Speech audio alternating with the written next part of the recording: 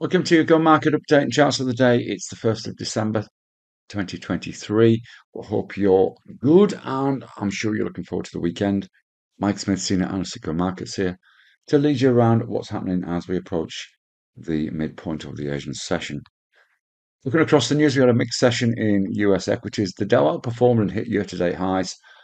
Possibly a bit of sector rotation going on as we saw tech stocks fairly soft and small caps doing well again. The PCE data, which was the data highlight of the week, came in around expectations. US futures have edged lower in Asian trading and Asian markets are weaker. The ASX down at 0.5% with all 11 sectors down in the early part of the session. There does look to be some recovery after some Chinese manufacturing data came out and beat expectations. European futures are pointing to a cautiously positive open and the VIX has paused at September support. The US dollar index moved higher overnight, but looking weak in Asia again.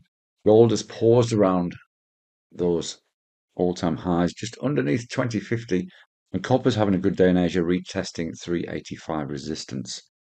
Oil has remained within that short term range, edge lower today, and Bitcoin has paused still near that nine month highs, but the absence of Selling has pushed all of the lows from each dip a little higher, suggesting that the buying pressure is still in there. Just needs something just to push it over 38k. Data out today so far, as well as that Chinese PMI, which beat expectations. In fact, we had Japanese jobs and PMI data all good. We've got Swiss GDP and Canadian jobs later, which will impact on those local currencies, and European and US PMI data later.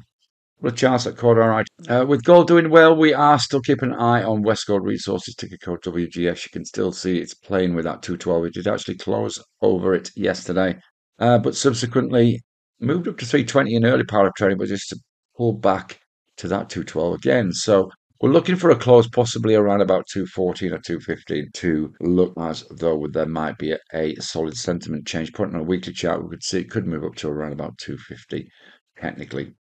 The euro Australian dollar is interesting. We've got it on a 30 minute chart just to show you the price action today. And we've got a reversal potentially going on here with a key level at around about 165. We think a breach of that could be important.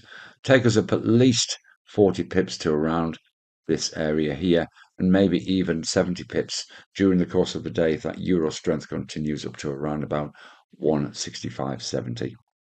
Trade safe and see you again soon. Bye bye for now.